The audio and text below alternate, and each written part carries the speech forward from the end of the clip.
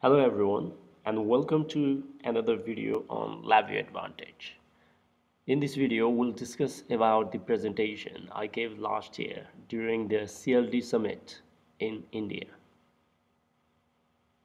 This presentation is about why and how to use object-oriented programming. In this presentation we'll compare about the traditional task-based approach against the object-oriented programming approach. So let's continue. Uh, many of you might have discussed that you know LabVIEW is very easy to use. Uh, you can develop applications and everything, but I think like uh, you might actually end up with the scenario when uh, you have written a code, it works perfectly fine, but next time you want to modify the code, it becomes very difficult to understand. Uh, before we begin, we'll capture a little bit uh, about the beginner approach to LabVIEW. So in LabVIEW development environment, uh, there is front panel and block diagram. The front panel provides the user interface uh, through which user can control the flow of application, uh, while the block diagram contains the necessary code in graphical programming language to run the application. So front panel is for the users and block diagram is primarily for the developers. Uh, now we'll discuss a little bit more about uh, user experience. Uh, if you see very clearly, uh, the users are not concerned on how the application was created and how much effort was required to build it. Uh, the user is only concerned about how simple and clear it is, how enjoyable it is to learn, uh, use and navigate and it should also handle errors generated by the user interface. Uh, we call this user experience or UX. Uh, there are various alternatives available for our requirements. Uh, UX defines which device, uh, apps or services we prefer over other alternatives. So this is the deciding factor when the customer actually goes with a specific service provider. On the other hand, uh, developer experience is the crucial thing for the LabVIEW developers. Uh, behind the user interface lies the code written in LabVIEW. Uh, there are various motivations to build an application. This can be for academic, research, hobby, or primarily for work. Uh, but depending upon the approach on how the application was built, uh, determines the quality of application and quality of developer itself. Uh, this is called developer experience or DX. The application uh, might be running perfectly fine, uh, but may introduce issues while changing and maintaining if improperly built. A developer who has access to proper education, training, tools, support and community from which uh, one can build a robust and relatively future-proof applications. The better DX vastly improves user experience leading to returning customers. Uh, in this perspective, uh, the evolution of LabVIEW Developer is basically a progression towards improved and enhanced developer experience. Uh, there are four stages in this progression. Uh, the beginner is a developer who uses code and fix approach to the specific problem. Uh, this actually leads to spaghetti code and less or no reusability value. That basically means you cannot reuse this code. Uh, the next level in the evolution is the practitioner. The practitioner uses codes from various sources to the specific problem. Uh, it's mostly the inherited code, either from the NI forums, Lavaji forums, uh, or the LabVIEW example itself. Again, uh, it leads to the less or no reusability values. Uh, this can be considered as the CLAD or the Certified LabVIEW Associate Developer level. The next level is intermediate level. The intermediate level developers uses the proven methods like design pattern to solve generic problem.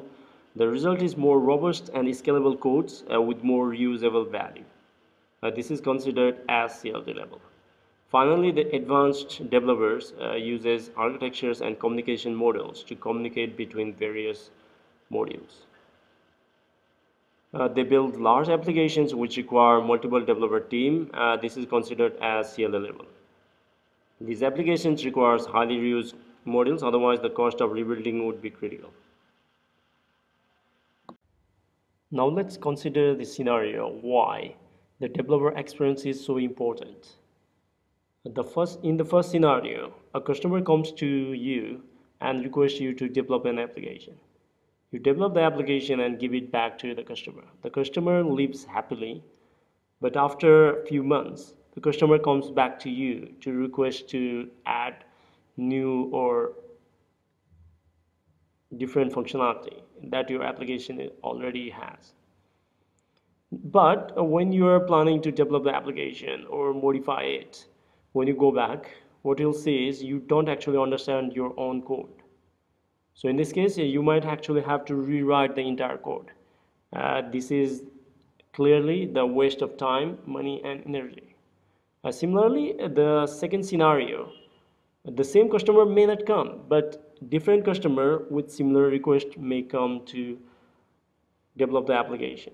So in that case, if you have used uh, the development methodology to develop the reusable application, then you don't actually have to rewrite the entire code from the beginning. The motivation uh, for the developer experience are uh, longevity of the application. That basically means any application that has to be used for a long period of time uh, which might require you know changes modifications and addition of new features. Uh, we need to focus on that one similarly uh, we should avoid rewriting of the code we should improve the code reusability and should be able to add functionality without changing existing code. Uh, the code should also be flexible and robust so that we can uh, easily make changes. So uh, the expertise required for the future proofing of the application is shown in this diagram.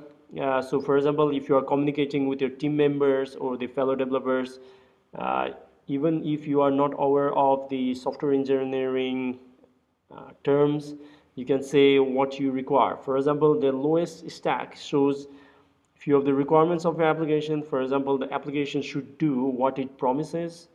The application should be able to handle n number of uh, you know it should be able to multiply the outputs or the processes uh, it should be reusable that is what we mean by modularity?